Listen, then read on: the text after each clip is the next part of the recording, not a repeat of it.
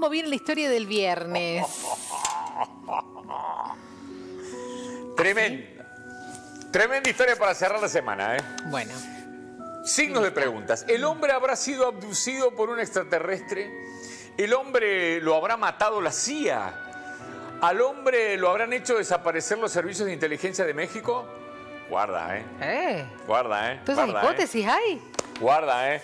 Porque hay una misteriosa desaparición de un científico que estaba investigando algunas cuestiones que tenían que ver con el ser humano y nadie sabe a dónde está. Ahí vemos las imágenes. Se llamaba, Ja- o se llama, no lo podemos hablar en pasado porque no sabemos si está muerto. Jacobo Greenberg.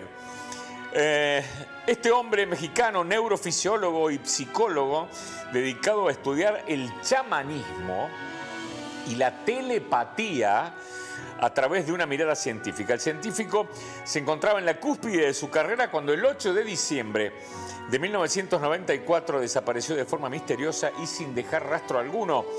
Nació el 12 de diciembre del 1946.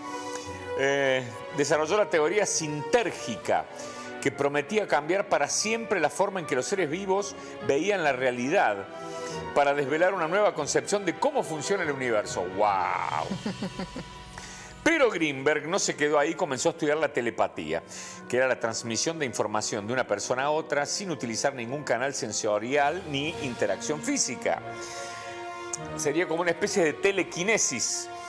Eh, fue así que a través de la meditación el investigador logró demostrar que dos cerebros expuestos a diferentes estímulos podrían arrojar resultados similares algo que Greenberg llamó potencial transferido.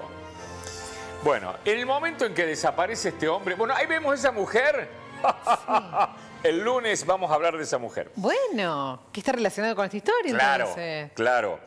En el momento de su desaparición, Jacobo Greenberg se disponía a hacer un experimento para demostrar la telepatía entre una persona que estaba en México y otra que estaba en la India, yendo incluso en contra de la teoría de la relatividad de Albert Einstein, que estableció que nada podría ser más rápido que la velocidad de la luz.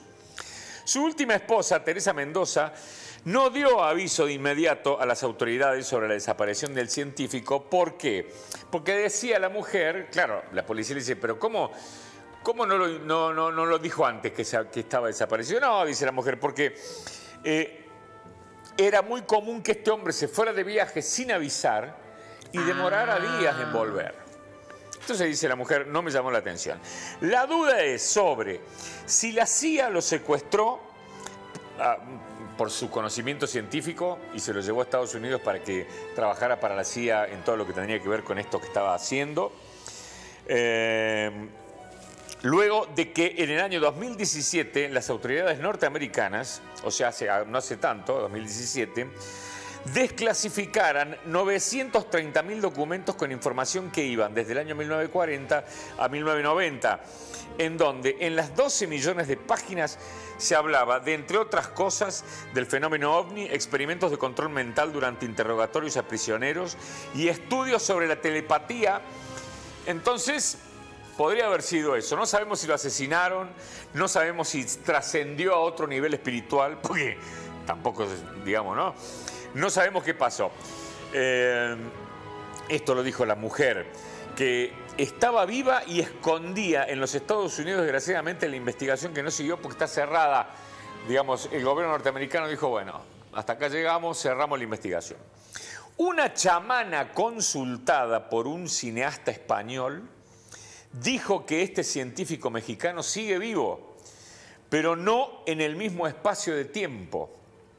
A ello se le suma que actualmente su nombre no está en los datos del Registro Nacional de las Personas Desaparecidas en México. Es decir, lo sacaron también de Sí, ahí. sí, también. Bueno, la mujer que habíamos visto recién se hace llamar La Pachita. Esa es la que nos vas a hablar el, el Sí. lunes.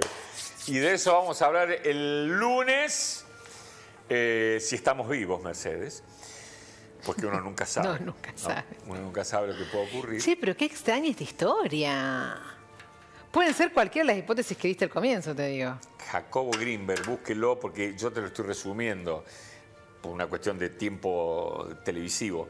Pero si usted se pone a investigar, si le gusta este tipo de cuestiones misteriosas, se pone a investigar sobre Jacobo Greenberg, se va a sorprender de todo lo que el tipo este estaba investigando, había desarrollado, había probado en algunas cuestiones. Bueno, Bueno, vaya a saber usted qué ocurrió con este muchacho. muchas gracias. Hasta luego.